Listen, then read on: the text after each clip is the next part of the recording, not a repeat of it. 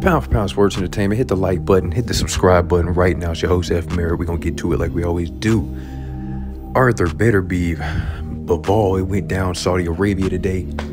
Listen, it, both guys go 12 rounds. Good fight. Um, if you if you were looking for the knockout, you didn't get it. I'm not gonna lie. I put money on it. I lost money. It is what it is. At the same time, if you want to look at the game plan of, let's start with Beterbiev, right? Applying pressure to Bivol, um, trying to hit him with short shots, going to the body. Good game plan. I didn't like the fact that he kind of started the game plan around four, round three or four. So you're already down two rounds. Arthur Beterbiev, he's he's always kind of been known as a slow starter, but he's had power going into the 12 rounds. He can knock you out one punch. It is what it is.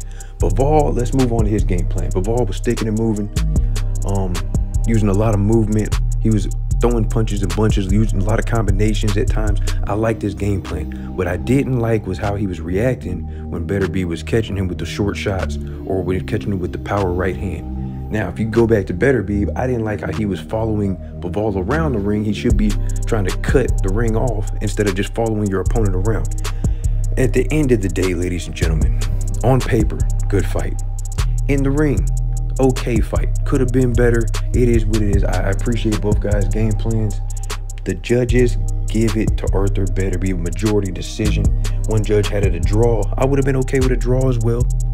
Two other judges had it uh, Arthur Beterbiev's way. It is what it is. Honestly, I thought they were going to give it to Bivol. Think about it. I think Bivol kind of outworked Beterbiev. Um, you had the whole Canelo fight coming up. If he was to come out the victor, and I mean, there's a lot of money. So uh, that's how I was thinking. But as far as the fight is concerned, I like the fight. Very tactical fight. Nobody was scared of anybody. Bivol definitely held his own. He definitely gets my respect. But the judges give it to Arthur Beterbiev. So salute to him. He is the 175 undisputed champion. He also says he wants to go up to cruiserweight. We will see how that goes, but he has a lot of things he needs to work on. But at the same time, he's at he's 40 years old. He's at the point where you can't really work on that much.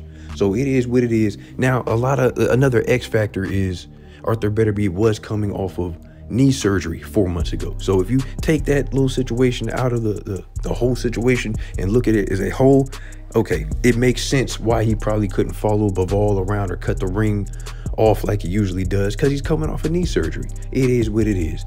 But like I said before, both guys go 12 rounds. Arthur Beterbiev is the winner. Majority decision. One judge had it a draw. Phenomenal matchup. You guys go check it out for yourself.